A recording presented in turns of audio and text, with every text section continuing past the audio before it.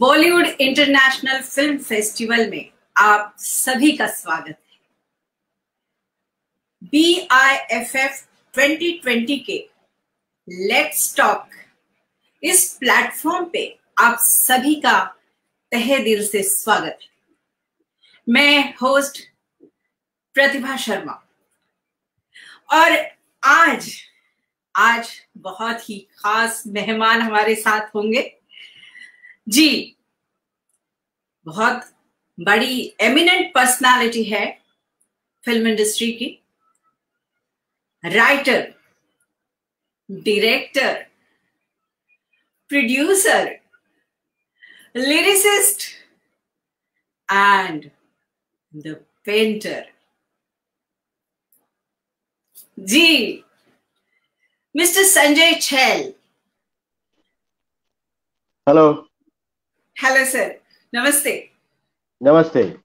कैसे हैं सर मैं बढ़िया हूँ आप कैसे हैं? मैं भी बहुत बहुत खुश हूँ आपको देखकर। सर आपका बहुत बहुत स्वागत है हमारे B I F F twenty twenty इस प्लेटफॉर्म पे। ये Okay. एक शॉर्ट फ़िल्म फेस्टिवल हमने ऑर्गेनाइज किया है। ये ऑनलाइन फ़िल्म फेस्टिवल है जिसमें हमारी मोबाइल फ़िल्म फिर शॉर्ट फ़िल्म फिर लॉन्ग शॉर्ट फ़िल्म ऐसी कैटेगरी में हम फिल्म्स ले रहे हैं। और ये हमारा पहला लाइव फ़िल्म फेस्टिवल है। सो. मैं बहुत बहुत स्वागत करती हूँ सर आपका। Thank you all the best all the best sir मैं हमारी दूसरी एक होस्ट है नीता कैंपस मैं उनका स्वागत करना चाहूँगी को host yes welcome Neeta ji please welcome सी हर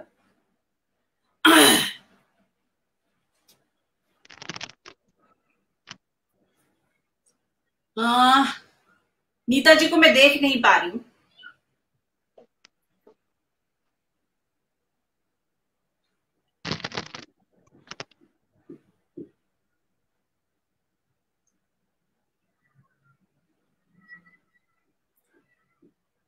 हाँ मेहमान आ गए लेकिन घर के लोग नहीं आए।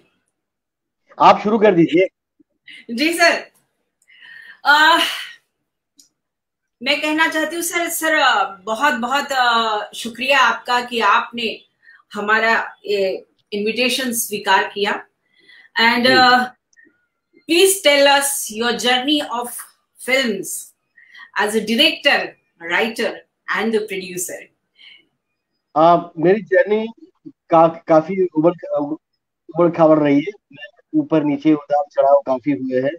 जैसे पर्वत से झरना गिरता है तो यहाँ वहाँ जाते जाते धीरे धीरे वो नदी तक पहुँचता है। उसी तरह मेरी जर्नी रही है। मैंने थिएटर से शुरुआत की थी। मेरे जी। फादर गुजराती हिंदी थिएटर में सेट डिज़ाइनर थे छेल परेश नाम से। तो मैं बचपन से ड्रामा वगैरह देखता था। और मेरी मम्मी संस्कृत की प्रोफेसर गुजराती की प्रोफेसर थी तो लैंग्वेज का मुझे वैसे ही घर में एटमोसफियर था। स्क्रिप्ट वगैरह पढ़ता था। फिर कॉलेज की पढ़ाई के बाद मैंने असिस्टेंट डायरेक्शन शुरू किया और तब मैं वन एक्ट प्ले लिखता था एकांकी। और कॉलेज एक्टिविटीज़ में कॉलेज इंटर कॉलेज कॉम्पिटिशन में तो उसमें मेरे प्ले पर बड़े सराहे गए हैं और हम्म। प्ले को सक्सेस मिली उस उसके बाद मैंने फुल लेंथ प्ले किए छोटे बड़े रोल्स भी करता था। और फिर जब मैं असिस्टेंट था फ़िल्मों में तो मैं रमेश तलवार साहब का असिस्टेंट था राहुल रवल के साथ काम करता था। और जो मौका मिला, मैंने काम किया।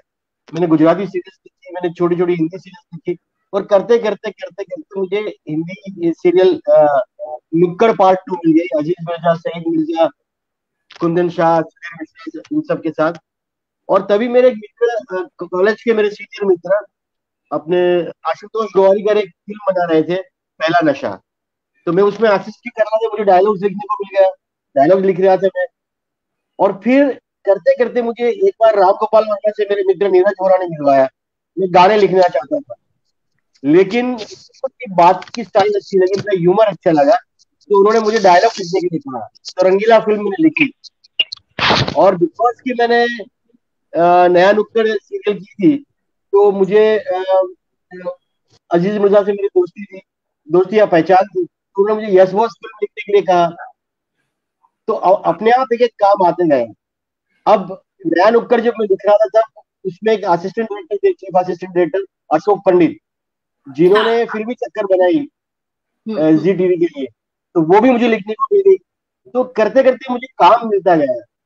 और काम सराहा भी गया। उस, उस वक्त नया नया जी टीवी आया था सोनी टीवी आया था। शाहरुख और वगैरह स्टार भी बन रहे थे। तो काफ़ी फ़िल्में लिखी। आमिर की फ़िल्में लिखी शाहरुख की लिखी तीन चार सलमान की लिखी। तो इस तरह चलता गया और बाद में डायरेक्टर बन गया 99 में। जी क्योंकि जी, मैंने जी. बहुत सारी पिक्चर लिखी बहुत सारी पिक्चर सक्सेसफुल रही। तो मुझे लगा अब मैं ही खुद डायरेक्ट क्यों ना करूँ? तो मैंने खूबसूरत बनाई संजय दत्त के साथ जो हाँ, मैंने लिखी इसमें गाने लिखे और बहुत ही सक्सेसफुल फ़िल्म रही। और मुन्ना भाई के पहले वो सबसे पहली फ़िल्म थी जिसने संजय दत्त की इमेज चेंज की। यस वरना वो फ़िल्म पॉजिटिव इमेज थी उसमें। हाँ उसमें पॉजिटिव इमेज वरना उसके पहले संजय दत्त काफ़ी एक्शन फ़िल्मों में जाने माने थे। जी।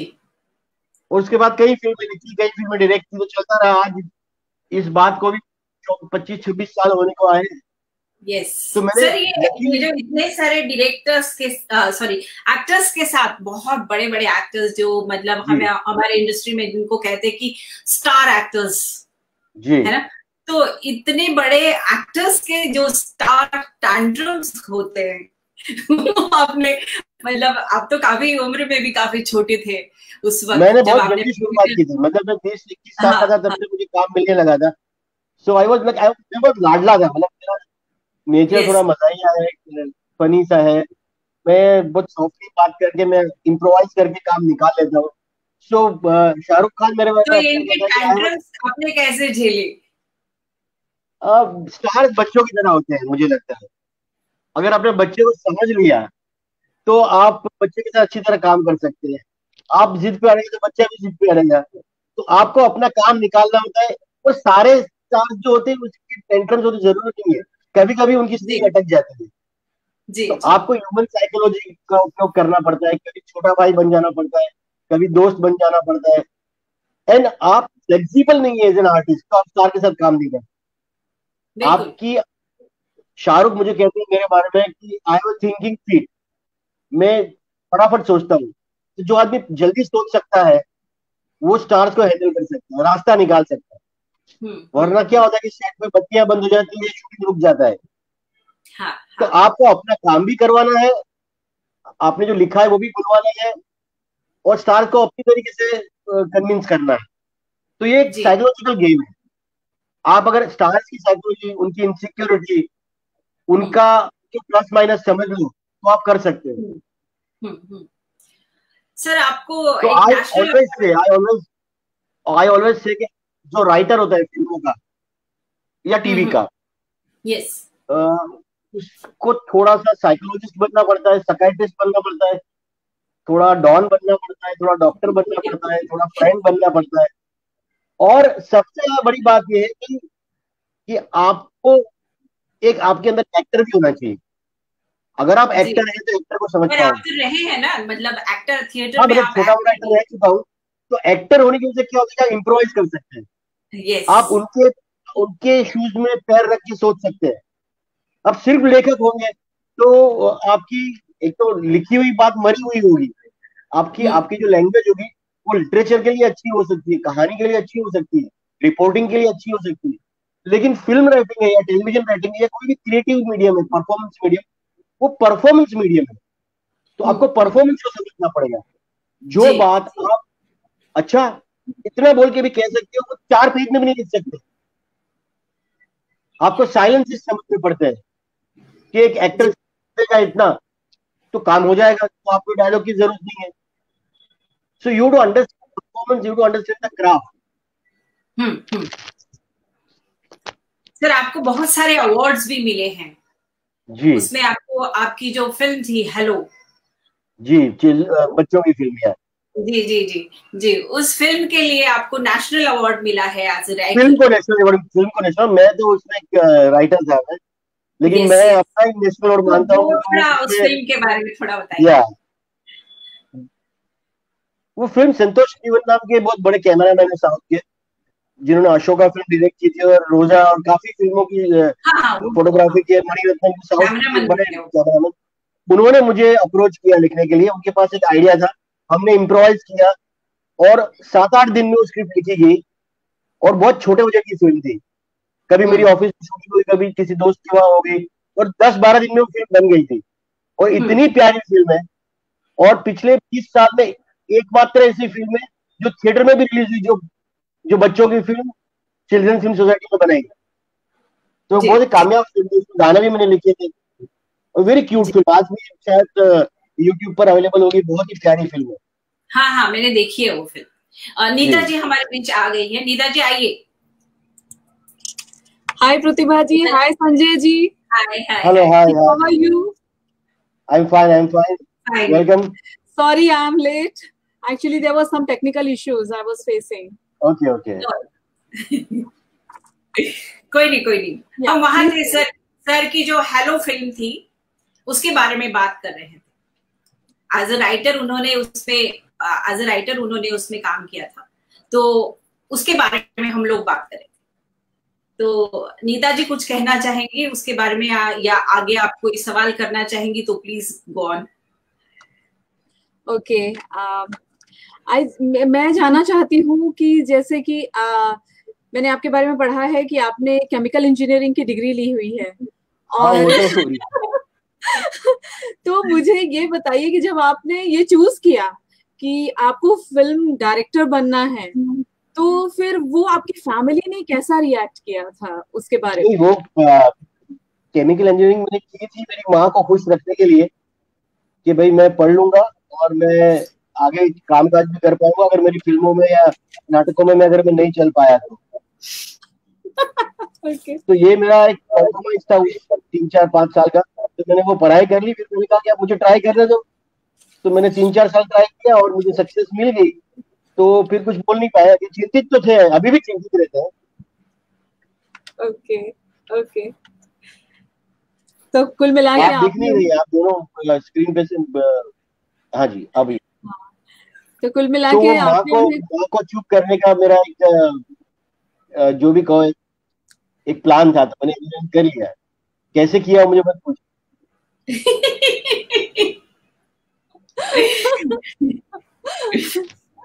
ओके फिर आपने मतलब मैं और एक एक सवाल और करना चाहूँगी नीता जी। आ, जब आप मतलब डायरेक्शन करते हैं राइटिंग करते हैं प्रोड्यूसर ठीक है। लेकिन राइटिंग या डायरेक्शन आप जब करते हैं तो क्या आपको ज़्यादा मतलब अट्रैक्ट करता है? सीरियल का राइटिंग अट्रैक्ट करता है या डायरेक्शन अट्रैक्ट करता है या फ़िल्म जो आप बनाते हैं उसका राइटिंग डायरेक्शन आपको अट्रैक्ट करता है? लिखना मेरे लिए बहुत बहुत सहज है। बहुत आसान है। मैं आर्टिकल्स भी लिखता हूँ मैगजीन्स में अखबार में मेरी कॉलम भी हूँ तो मैं एवरीडे लिखता हूँ मैं। फ़िल्म की स्क्रिप्ट लिखते रहता हूँ मैं, लिखना बहुत आसान लेकिन डायरेक्शन में बहुत मज़ा आता है। बिकॉज़ फ़िल्म डायरेक्शन में आपका पूरा कंट्रोल रहता है। और आपने जैसा सोचा, वैसा आप डायरेक्ट करके आप, आपकी स्क्रिप्ट अपनी रख अपनी रख अपनी रख। पर काफ़ी बार ऐसा होता है ऐसा होता है कोई टेक्निकल इशू आ रहा है।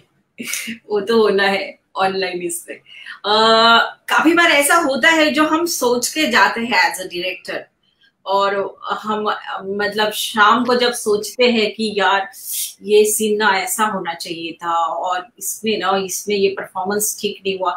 भले ही मॉनिटर पे आप दिन भर देख रहे हो उस सीन को, लेकिन जो एज अ डायरेक्टर आपने कंसीव किया था, वो आपको नहीं मिलता है। बहुत बार ऐसा भी होता है एज अ डायरेक्टर तो आप उसको क्या फिर से वापस रीटेक या रीशूट करते हैं या आप जल्दी सेटिस्फाइड हो जाते नहीं मैं काफ़ी लगा रहता हूँ मैं। कभी कभी रीशूट भी करना पड़ता है। पूरी फ़िल्म मेरी होने एडिट होने के बाद रीशूट करते हैं कुछ चीज़ें। कुछ पैच वर्क कर लेते हैं। लेकिन शूटिंग करते वक्त समझ अब में आ जाता है कि भाई जो लिखा था वो आया कि नहीं। हम्म, हम्म। क्योंकि एक्टर्स भी इन्वॉल्व होते हैं टेक्नीशियंस भी होते हैं तो एक आइडिया आ जाता है। जी जी। और आपने मुझे एक सवाल पूछा कि मेरे डायरेक्शन मुझे अच्छा लगता है क्या राइटिंग तो उसका मेरे पास बड़ा इंटरेस्टिंग आंसर है। मैंने बहुत सारी फ़िल्म लिखी फिर मैं डायरेक्टर बना उसके पीछे एक वजह है कि कुछ कुछ पिक्चरें ऐसी थी कि जिसमें मैंने लिखा कुछ और डायरेक्ट कुछ हुआ पेश कुछ हुआ। हाँ, तो हाँ. मैंने सोचा कि अगर मेरी स्क्रिप्ट को बिगाड़ नहीं है तो मैं ही क्यों ना बिगाड़ू? सही है। दूसरे क्यों बिगाड़े? हाँ। हाँ नीता जी बताइए। Uh, मैं ये जानना चाहती हूँ कि जैसे कि आप फ़िल्म और टेलीविज़न दोनों करते हैं राइट आप आई एम श्योर आप बहुत एंजॉय भी करते हैं। तो आप वो जो दोनों में बैलेंस करके जो एक मैजिक क्रिएट करते हो आप उसके वो कैसे करते हो आप?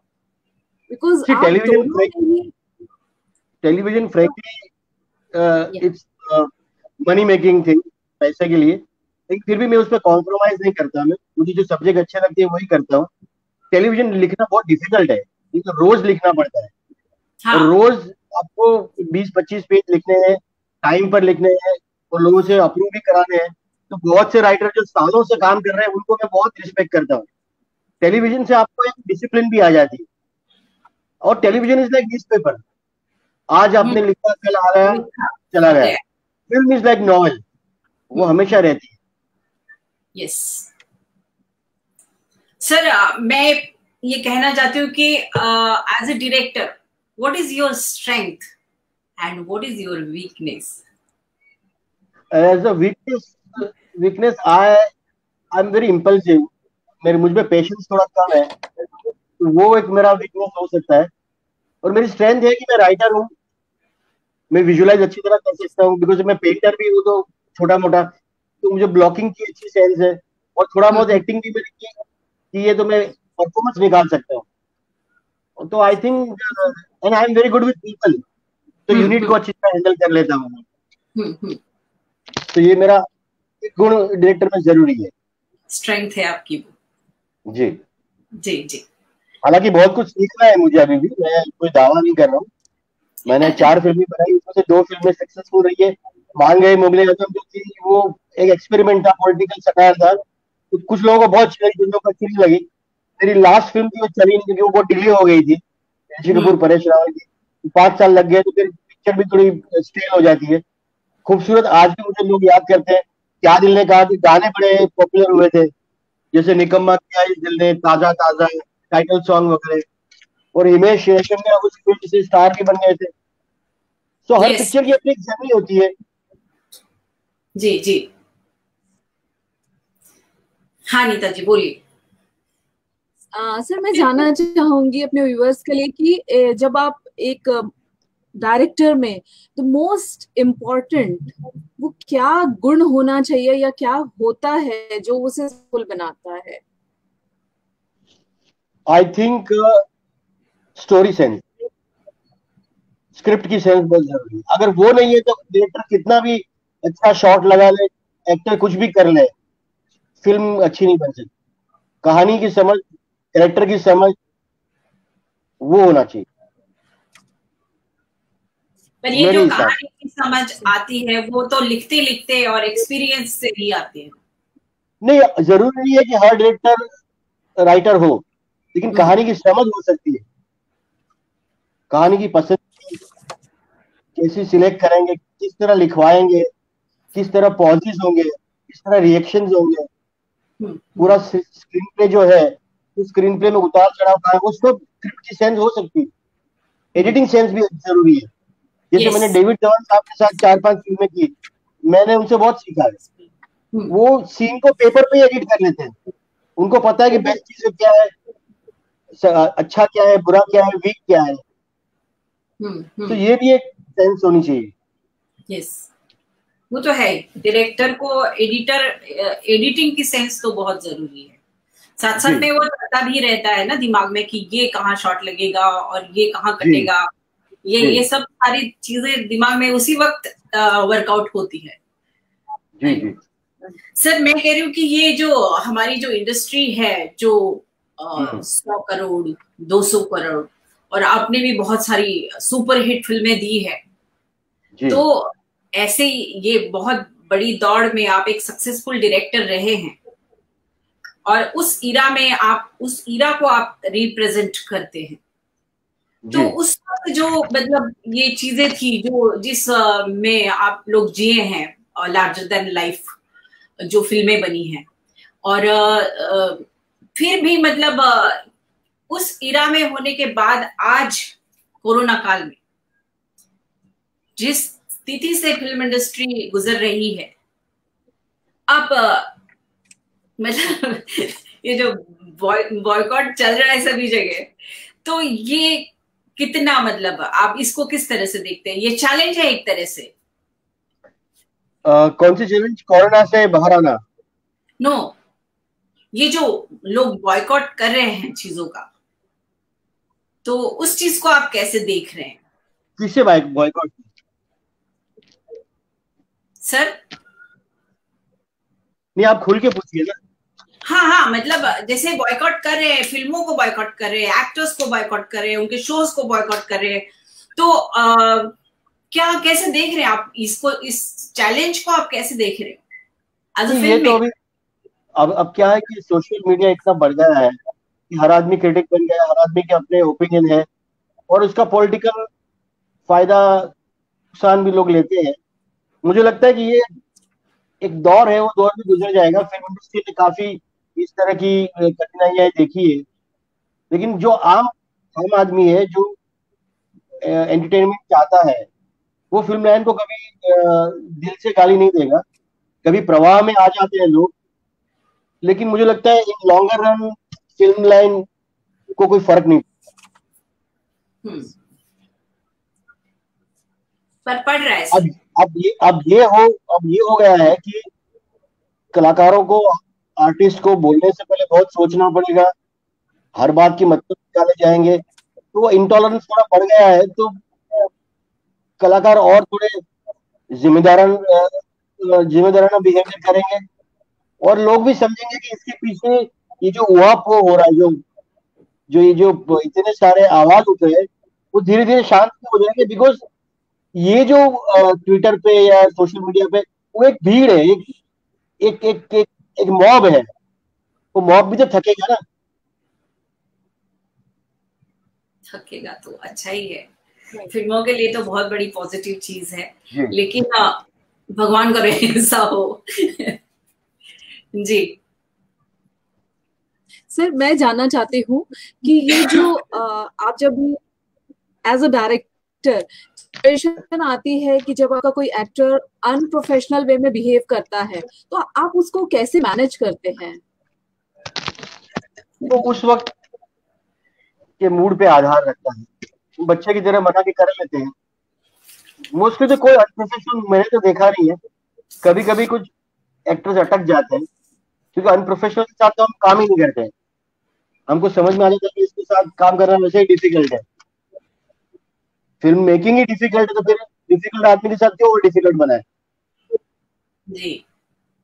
सर, मैं और एक आगे बात पूछना चाहती हूँ कि जैसे हमारी इतनी बड़ी इंडस्ट्री है और उसमें बहुत सारी फ़िल्में hit super hit hundred crore two hundred crore के क्लब में काम करती है। और उसके बावजूद मतलब किसी भी तरह से हमारी इंडस्ट्री को उस तरह का सम्मान पूरे दुनिया में नहीं मिलता है, जैसे कि थर्ड वर्ल्ड इसको कहा जाता है। और हमारी फ़िल्में ऑस्कर तक नहीं पहुँच पाती या ऑस्कर नहीं ला पाती, इसका क्या क्या मतलब कारण आप देख पाते हैं? क्योंकि हम नेशनल लेवल पे जो हमारे जो, हमारा जो ऑडियंस है इंडियन ऑडियंस उसके लिए बनाते हैं। इंटरनेशनल स्टैंडर्ड्स के लिए फ़िल्म नहीं बनाते हैं। क्योंकि उनकी समझ, उनकी सेंसिबिलिटी अलग है। हम जो बनाते हैं औसत इंडियन के लिए फ़िल्म बनाते हैं। और औसत इंडियन के लिए जो फ़िल्म उनका टेस्ट अलग है। हम रामायण, महाभारत उर्दू ड्रामा उस रवायत से हम लोग आगे आए हैं। हमारी फ़िल्म ज़्यादा मेलो ड्रामे क्या लाउड होती है। अब तो बदल, बदलाव आ रहा है। लेकिन हम जो औसत इंडियन के लिए फ़िल्म बनाते हैं, वो एकेडमी अवार्ड के स्टैंडर्ड की फ़िल्म नहीं होती है। और हमारी क्यों होनी भी चाहिए? आप ये कहेंगे कि कि हमारा जो छोले भटूरे हैं वो वर्ल्ड में पिज्जा के साथ उसको कंपेयर क्यों करें नहीं नहीं नहीं ये हमारी पर सत्यजीत रे जो एक एक्सेप्शनल केस है हमारी इंडस्ट्री की। वैसे तो बड़े बहुत सारे फ़िल्म मेकर जिनकी फ़िल्में इंटरनेशनली एक्लेम हुई है। तो वो अपवाद है ना एक्सेप्शनल केसेस है। तो उसी तरह से हमारी इंडस्ट्री की भी फ़िल्में जानी होगी। धीरे धीरे होगी। हाँ धीरे धीरे ठीक है। जी जी। बोलिए नीता जी सर मैं एक चीज़ पूछना चाहती हूँ मैं नीता जी को चाहती हूँ नीता जी को मैं एक सवाल पूछना चाहता हूँ। हाँ बोलिए। हाँ ये आपकी सरनेम कैंपस कैसे है?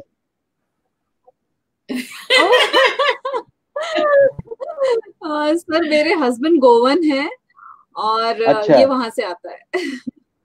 तो वहाँ कैंपस सरनेम होती है। अच्छा तो हाँ, तो मुझे पता नहीं। जी हाँ। ओके ओके जी। हाँ, मैं ये जानना चाहती थी कि जब आप या सॉरी मैं ये जानना चाहती थी कि जब की कन्विक्शन क्या होती है जब आप एक फ़िल्म लिखते हैं या डायरेक्ट करते हैं? मैं अपने इंस्टिंक्ट पर जाता हूँ। अपनी गट लेवल फीलिंग में जो मुझे अच्छा लगा वो शायद ऑडियंस को अच्छा लगेगा। ये सोच के मैं बनाता हूँ, या लिखता हूँ। हर आर्टिस्ट का अपना एक वॉइस होता है, अपनी एक स्टाइल होती है, अपनी एक टेस्ट होती है। कभी कभी वो टेस्ट ऑडियंस की टेस्ट के साथ मैच हो जाती है तो कामयाबी मिलती है। कभी कभी नहीं मिलती तो कामयाबी नहीं मिलती। लेकिन आदमी को, कलाकार को अपने वॉइस अपने टेस्ट के साथ ऑनेस्ट रहना ज़रूरी है।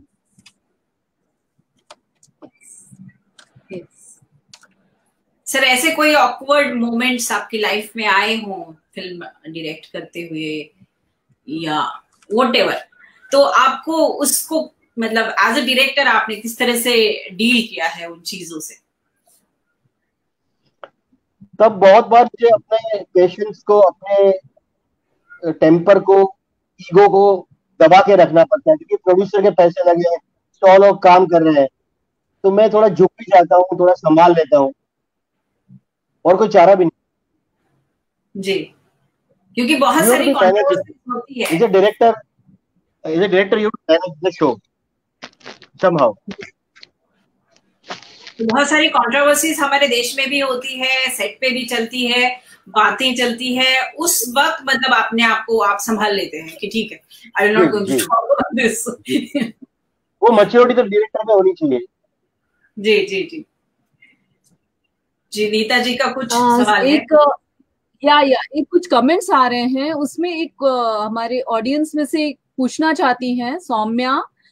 वो कहती हैं sir there was rumour that your serial ये उन दिनों की बात है is coming with season two is that true really love that show I watch it मैंने भी सुना है भगवान करे सब। I am not sure and uh, हमारे बहुत सारे ऑडियंस uh, यहाँ पे जुड़ चुकी है। जैकलीन मैम है निधि तिवारी है और आकाश बंसल है सौम्य बेलवा है और uh, कुसुम बेलवा है। ऐसे बहुत सारे लोग uh, हमें थैंक यू कह रहे हैं आपके शो में आने के लिए। Thank you so much sir Anita ji के कुछ बहुत सरप्राइज़ चीज़ें आपके लिए है। एक और सवाल ले लेती हूँ मैं एक अपने कमेंट सेक्शन से। विनीता हाँ. त्यागी पूछती हैं sir what to you see in an actor when you select them for your movies what you see in an actor when you select for them for movies new actor या star star है तो image होती है उसकी अपनी एक capacity होती है स्टाइल होती है। उनका एक अंदाज होता है तो उससे मैं सिलेक्ट करता हूँ। रादर वो मुझे सिलेक्ट करते हैं मेरे साथ काम करना कि नहीं। और अगर नए एक्टर है या कैरेक्टर आर्टिस्ट वगैरह है तो मैंने जब लिखते वक्त जो सोचा होता है मेरा कैरेक्टर वो मुझे एक हल्की सी एक इमेज दिखती है। वो इमेज जब कैरेक्टर में कैरेक्टर एक्टर में रिफ्लेक्ट होती हुई दिखाई देती है तो मैं उसको सिलेक्ट करता हूँ। तो मेरा जो तस्वुर है उसमें मैच होता है। do you uh, what do you look you look for their qualification as well? Uh sorry qualification uh, या आप उनका क्वालिफिकेशन भी देखते हैं उसको भी ध्यान में रखते हैं? वो तो हम अगर नए एक्टर है तो उसका ऑडिशन लेके उनके साथ रीडिंग करके समझ में आ जाता है। और कौन सा क्वालिटी ट्रेंड एक्टर है कि नहीं? है मुझे उससे बहुत फ़र्क नहीं पड़ता है। मुझे फ़र्क पड़ता है कि मेरे रोल के लिए सूट कर रहा है कि नहीं। जी। तो आपका वो राउंड ले लीजिए अभी। Yeah, we have हाँ हमारे लिए आपके पास एक आपके लिए हमने एक तैयार किया हुआ है रैपिड फायर राउंड जी। उससे मैं आपसे कॉल कर रही हूँ। और वो फास्ट उसका जवाब चाहिए as it says rapid fire my first question is favourite super hero of film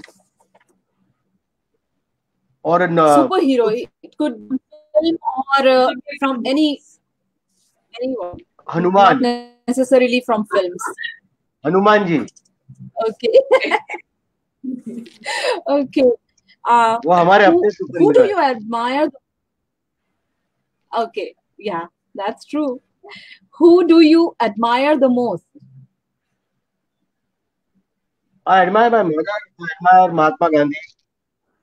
I admire Devanand.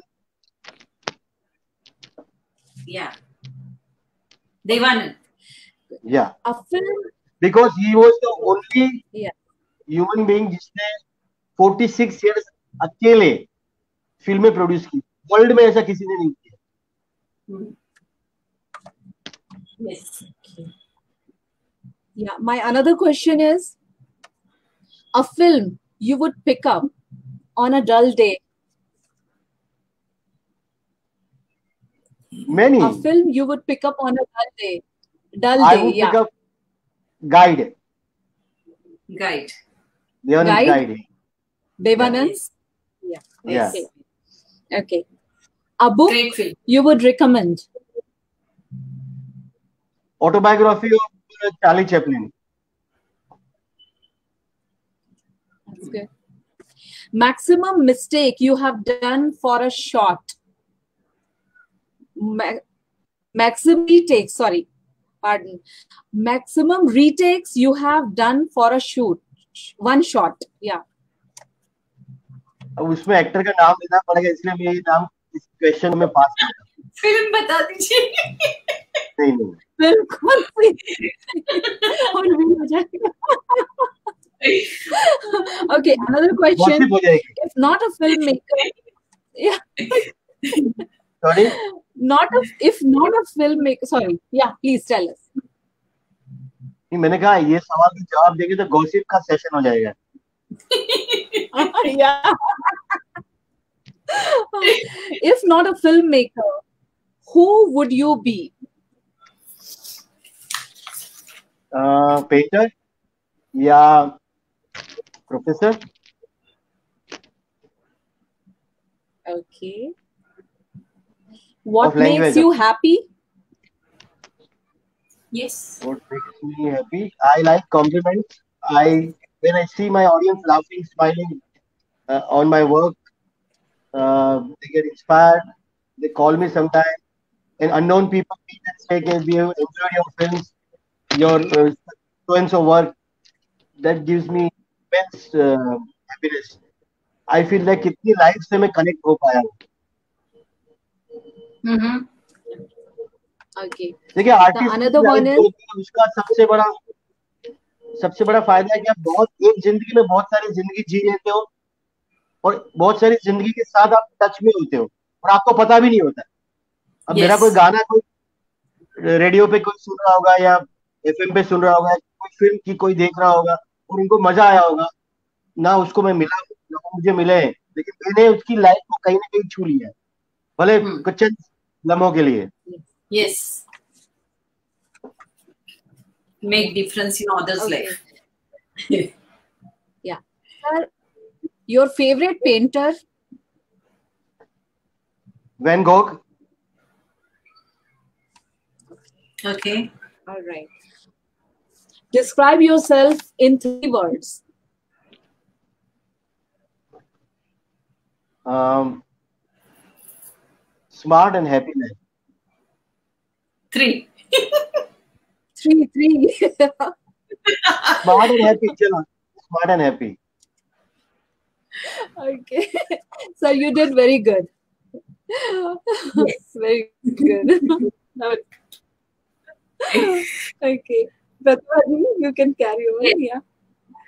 Thank you so much Sanjay ji आप Thank you so much. And uh, मजा आया बात करके और wish आप you all the अपने best for your painting के festival. बारे में आप हमें बताइए और किसके बारे में? पेंटिंग के बारे में हमें कुछ बताइए। आप- बहुत अच्छे पेंटर है मैंने देखा है आपका स्टूडियो और मैं आई हूँ वहाँ आपके ऑफ़िस में। अ, मुझे याद है आपकी सारी पेंटिंग्स हर जगह लगी हुई थी। एंड उसी वक्त आपका वो एग्जीबिशन भी होने वाला था। Please talk about. It yeah. अब मेरे दो तीन एग्जीबिशन हो चुके हैं। जहांगीर आर्ट गैलरी में दो बार हुआ है हुए हैं। अहमदाबाद की एम एफ़ हुसैन और दोषी की एक गैलरी है गुफा गैलरी वहाँ पे भी एग्जीबिशन हुआ है। पेंटिंग मेरा मेरा पैशन है। जब मैं लाइफ में बोर हो जाता हूँ जब डिप्रेशन जैसा लगता है तो मेरा मूड एलिवेट करता है। मेरे लिए वो मैं उसमें वक्त मेरा चला जाता है। इसलिए जैन आर्ट योर ध्यान मुझे लग जाता है। तो मैं घंटों तक पेंटिंग करते रहता हूँ। और बहुत आनंद मिलता है। मुझे सबसे ज़्यादा आनंद किसी कला में आता है तो पेंटिंग में आता है। मैं हमेशा हाँ। कहता हूँ कि सब कुछ मुझे छोड़ के धोखा दे सकते हैं मेरे रंग मुझे धोखा नहीं देंगे। तो आपका सब्जेक्ट क्या होता है? मतलब पेंटिंग में आप अलग अलग सब्जेक्ट्स पे पेंटिंग करते हैं या जस्ट करते जाते हैं और आपको अपना अलग अलग सब्जेक्ट्स पे करता हूँ। मैं एब्स्ट्रैक्ट करता हूँ डिज़ाइन करता हूँ एब्स्ट्रैक्ट करता हूँ। जैसा मेरा मूड कैनवास सामने आता है पेंटिंग बनते जाता है। Okay, okay. Uh, you, are you a trained uh, painter or No, just I'm not. I'm not. But my father was the Jain School of Art के स्टूडेंट्स थे और आर्ट डायरेक्टर थे तो घर में बचपन से थोड़ा वो माहौल था कलर्स वगैरह होते थे आर्ट की किताबें होती थी तो मैं जब नाइन्थ टेंथ में था तब मैंने पिकासो पूरी जितने पिकासो के चित्र है वो सारे मैंने उसको मैंने कॉपी कर लिए थे wow? Oh, that old woman also. जो रोती है और जिसका मुँह खुला रहता है और वो दैट। पेंटिंग मुझे तो मुझे बहुत हॉन्ट करता अनदर है। Another another my favourite painter Paul Klee Paul Klee के पेंटिंग बड़ी असर है मुझ पे। हाँ हाँ हाँ हाँ। ओके मतलब आपका कहीं ना कहीं मतलब हाँ। होता है उससे यस मतलब शुरुआत से ही उसमें पेंटिंग में उनको रुझान था। जी जी।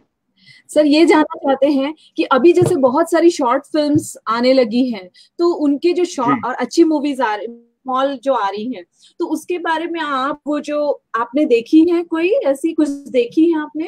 शॉर्ट फ़िल्म का ज़्यादा मेरा अभ्यास नहीं है लेकिन मैं वेब सीरीज़ वगैरह देखते रहता हूँ। शॉर्ट फ़िल्म मुझे ज़्यादा देखता नहीं हूँ। और ओके। नहीं शॉर्ट फ़िल्म में सर कुछ कहना चाहेंगे? शॉर्ट फ़िल्म जिस तरह से लोग आ रहे हैं। और डिफ़िकल्ट डिफ़िकल्ट माध्यम है शॉर्ट फ़िल्म क्योंकि छोट बहुत ही कम समय में बात करनी होती है। It's a challenging art capsule या इट इज़ इज़ अ तो प्रतिभा जी मुझे लगता है कि अ, हमने काफ़ी जितने Yes, sir. से सब कवर कर लिए हैं। बहुत सारे टॉपिक्स को हमने कवर कर लिया है। आपकी फ़िल्म फेस्टिवल के लिए आपके फेस्टिवल के लिए बहुत बहुत शुभकामनाएँ। और जितने और पार्टिसिपेंट्स हैं उनको भी उनको भी शुभकामनाएँ। सर हमारे हमारे दर्शक जो यहाँ पे वेटिंग पे हैं उनको जरा आप दिवाली की भी शुभकामनाएँ शुभकामनाएँ दे दीजिए। इस बार तो दिवाली की शुभकामनाएँ डबल हो जाती है क्योंकि हम सब उदासी में हैं हम सब लॉकडाउन में हैं मौत से डरे हुए हैं महामारी से डरे हुए हैं। वैसे माहौल में दिवाली आए सबके जीवन में उजियारा हो जाए और एक आस्था की किरण लेके आए ऐसी मेरी दिल से शुभकामनाएँ जी sir thank you so much हमारे शो में आने के लिए आना चाँद चाँद लगाना है हमारे शो को। Thank you so much much धन्यवाद बाय बाय बहुत बहुत bye bye all the best bye sir thank you तो दर्शकों से हम कुछ बात कर लेते हैं।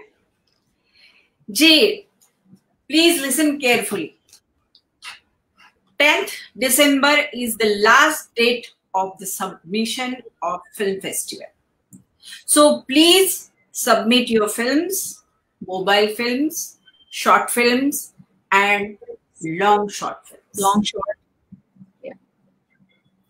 so award visit our website 20,000 Yeah. rupees. So please come and submit your film. Thank you so much. Happy Diwali सभी के लिए हैप्पी न्यू ईयर और पटाखे मत जलाइए thank you Our website. Please visit our website www. Bollywood International Film Festival for further details. More details you can log in and check out. And वहाँ पर आप जितनी हम, हमारी अभी तक जो फिल्म्स आ चुकी हैं, जिनकी एंट्री आ गई है, उनके पोस्टर्स देख सकते हैं, उनके सिनॉप्सिस पढ़ सकते हैं और आपकी जो भी फ़िल्म है, उसको ज़रूर से इसमें पार्टिसिपेशन के लिए भेजिए और wish you all happy Diwali thank you thank